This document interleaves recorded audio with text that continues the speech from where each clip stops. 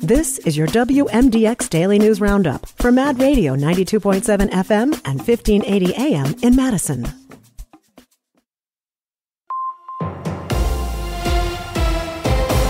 Civic Media News. I'm Terry Bell. Here's what Wisconsin needs to know.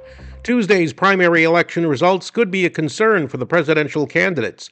President Biden and Donald Trump won in landslides, but more than 47,000 Democrats voted uninstructed, and 120,000 Republicans voted for someone other than Trump. Wisconsin will be a decisive state in November. Biden carried the state by less than 1% in 2020.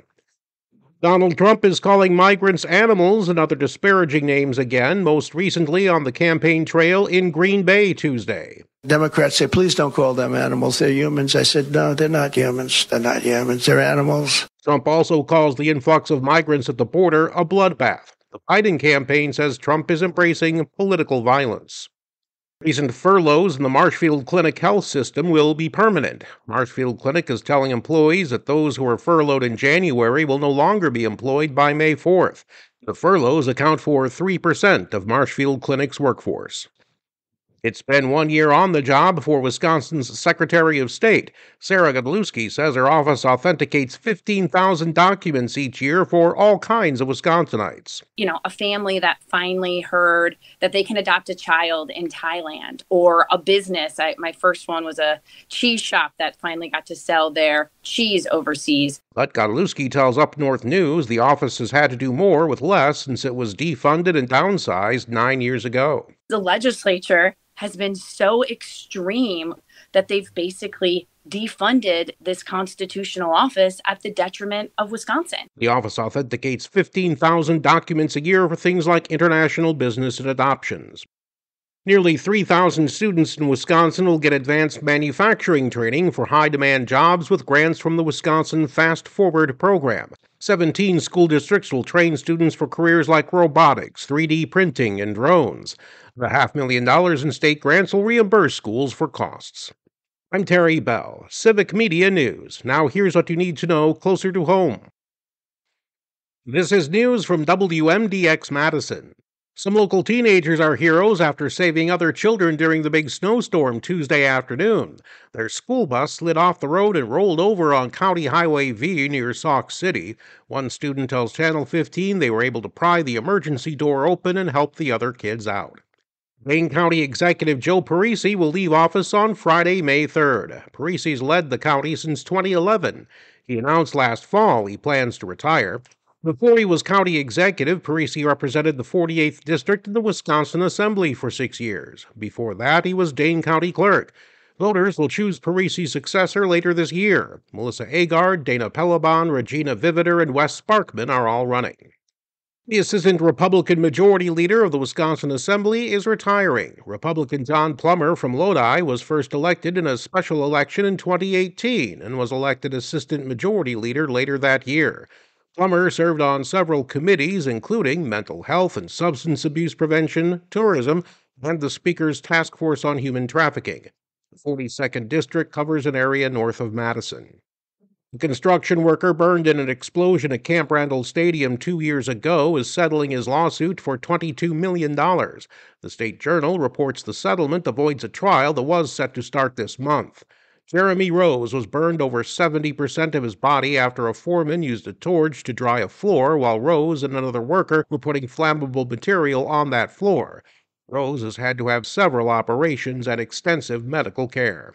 The water in the town of Westport is not safe to drink. A boil water advisory has been in effect since Tuesday. Officials say the water system in the Bishops Bay area had a pressure drop after a contractor closed a valve by accident. The valve is fixed and the pressure is back, but Westport authorities say people in the meantime should not use their water for cooking, drinking, or washing dishes. It could be contaminated and make people sick. And the popular Dane County Farmers Market returns to the Capitol Square on Saturday the 13th. The Saturday market moves to Breese Stevens Field on July 13th for Art Fair on the Square. And that's what you need to know. This is WMDX News.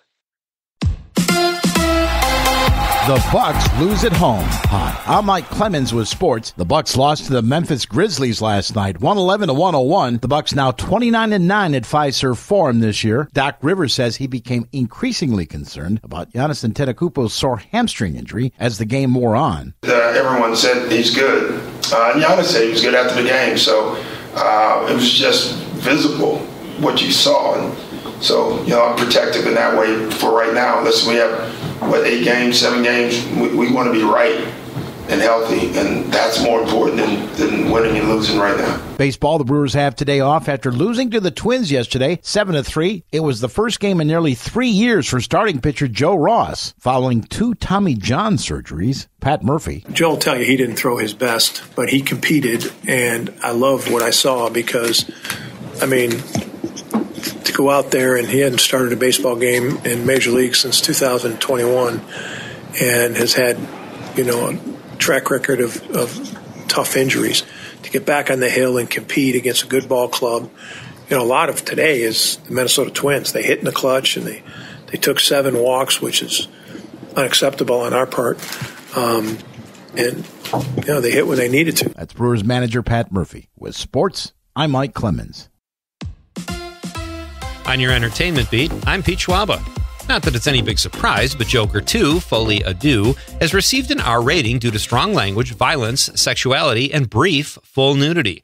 The Motion Picture Association deems full nudity, albeit brief, much more offensive than malingering partial nudity.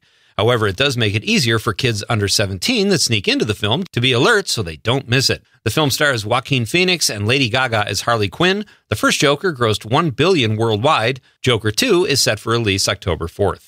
Speaking of brief full nudity, Steve-O refused to appear on Bill Maher's podcast Club Random because Maher said he wouldn't not smoke pot. Double negatives aside, the star of Jackass, whose real name is Stephen Gilchrist Glover, has been sober going on 16 years and was ready to say yes until Maher said him not smoking on the podcast was a deal breaker.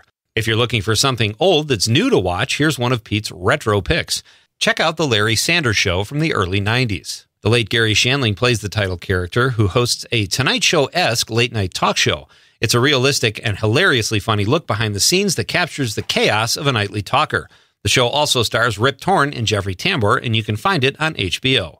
During Disney's annual shareholder meeting, CEO Bob Iger shot down the idea that NBC Universal's Epic Universe will steal visitors from Disney's turf in Orlando, Florida. Iger also said Disney is entertaining the idea of a new Avatar area of Disneyland.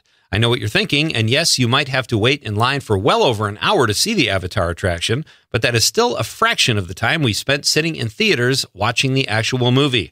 Forbes has released its 2024 billionaires list, and Taylor Swift is on it for the first time. Forbes credits her song catalog, tours, and real estate portfolio for the income boost. The New York Post reports that the 34 year old Swift is now one of about 2,700 people who are worth over $14 trillion collectively. Another newcomer to this year's list of billionaires is Magic Johnson, who made his money investing in professional sports, Starbucks, and real estate. You know who didn't make the list? Me.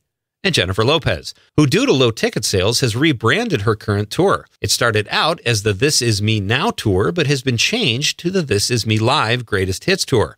Yahoo News reports this is a reflection of weak sales from Lopez's new album. When experiencing low ticket sales, always make it a greatest hits tour, or even better, just sing Taylor Swift songs. For more showbiz fun, tune in to Nightlight with me, Pete Schwaba, every night between 7 and 9 p.m. on the Civic Media Radio Network. A few lingering light showers likely today. The wind will gradually die down. Our high right around 40 this afternoon. The wind north at 15 to 25 this morning. Only 5 to 15 here by late afternoon. Tonight, partly cloudy 27. Tomorrow, 43. Saturday, sunshine with a high of 48. I'm meteorologist Sean Cable. Outside now, it's 33. That's your WMDX Daily News Roundup from Civic Media. Subscribe to this podcast on Spotify, Apple, or wherever you find your podcasts. Find more news at mad.radio.